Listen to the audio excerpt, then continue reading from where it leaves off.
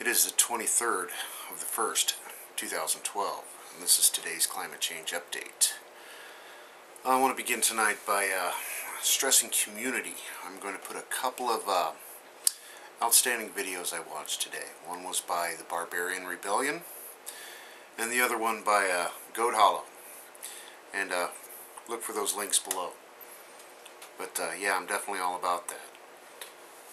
We're going to start on SOTT.net Radioactive Waste Crisis. A mountain almost 70 years high. Before the month of January is out, the U.S. Department of Energy Blue Ribbon Commission on America's Nuclear Future will unveil the result of its two-year-long investigation into what to do with the accumulated radioactive waste at the country's nuclear power plants. By the year's end, that waste will constitute a mountain 70 years high.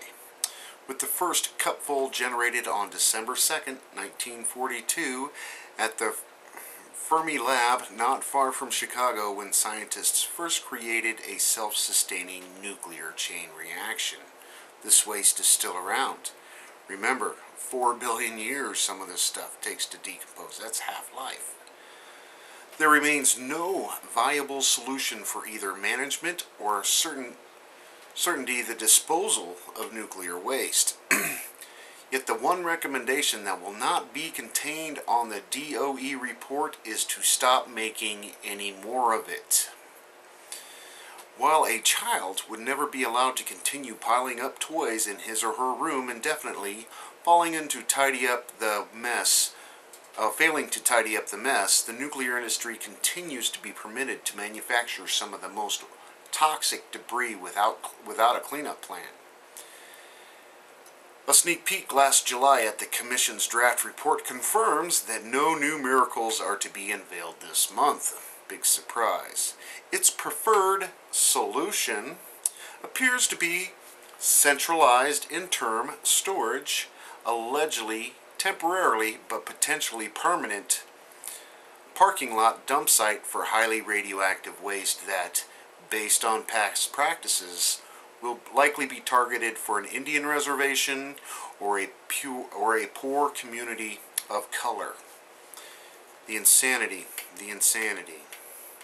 Tornadoes possible in southern United States as snow threatens.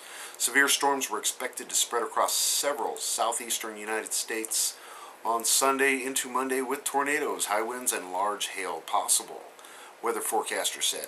A second storm fr front is expected to hit California late Sunday night, will bring significant snowfall to the mountain regions, according to the National Weather Service, before rolling into the southern United States again later in the week.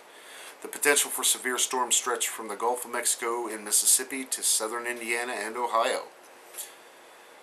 And we got another 6.0 earthquake. This one's the South Sandwich Islands regions. Uh, that's down by the Antarctica.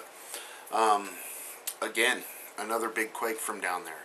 And uh, just think, 6.0s are just about every day, aren't they? Uh, they've got a story sinkhole near the village in uh, Russia. Scientists are trying to find out what caused this giant sinkhole. Uh, they've got a video attached to this story if you click on read more. A pretty dramatic hole. Uh, they're saying it's over a year old, but some guy threw his wife in there and they had to go down and rescue her. That's what's brought it up to the surface kind of thing. Uh, over to the watchers. CME CME impact strongly compresses Earth magnetic field and produces auroras.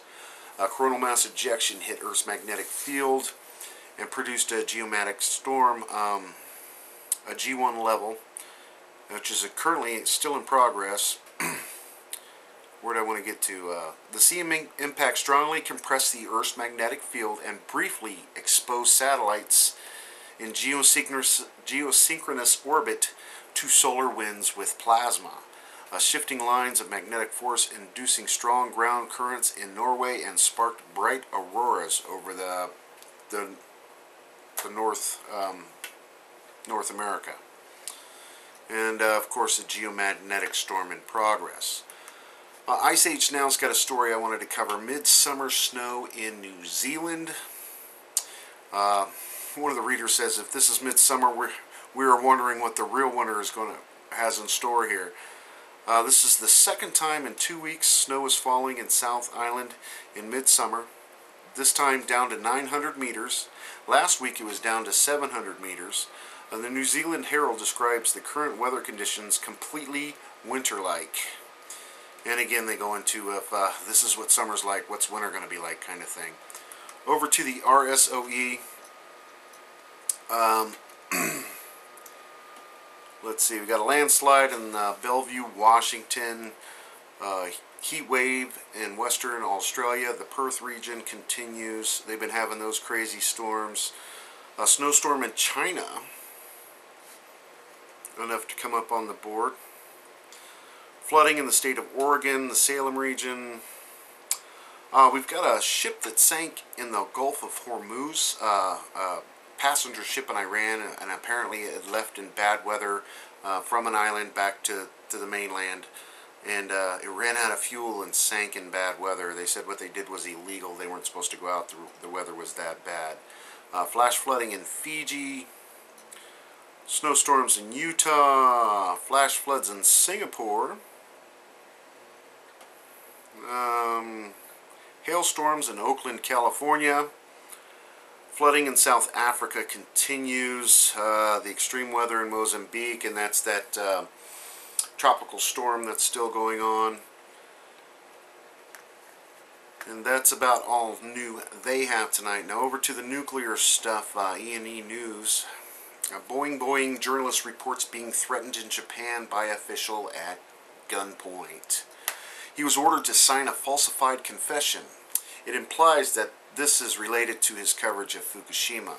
And we got to remember, this is I think this is the same ongoing story. Remember, the guy was stopped and harassed. Uh, they were demanding bribes, and uh, they arrested him for a little while before they deported him. NHK interne, uh, internal radiation exposure damages DNA, plutonium, hot particles seen in cell.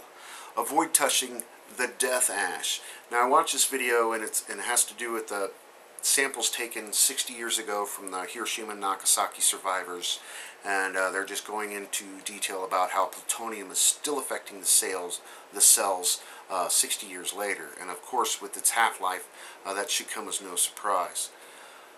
TEPCO meeting. Did you want to kill someone again? Don't you get it? TEPCO, we just heard today that he committed suicide and we're really sorry to hear that. And uh, these are the um, their elites going at each other. Japan Times, radiation problem will continue for a very long time. Complete disclosure is needed.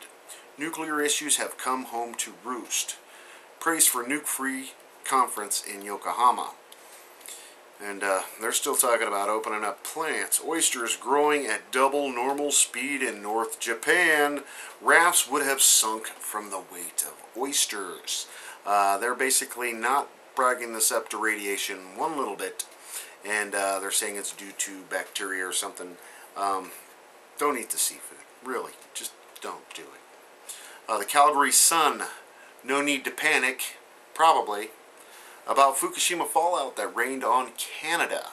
The government hasn't even released the data. I think they're not even taking readings, or at least they're not reporting readings. Top government official Fukushima nuke report was so shocking we decided to treat it as it didn't exist. And uh, that's all I'm going to have for you tonight. Again, like I first started off, uh, Goat Hollow and um, the Barbarian Rebellion both put out outstanding videos today. And I know they're both on two sides of the fence and uh, everybody doesn't follow everybody, but it definitely has to do with community and the YouTube community and um, all the nonsense that's going on with that. I thought they both uh, represented really well. So please check out those videos if you want to take the time and uh, enjoy while you can, everybody. Thanks for your support.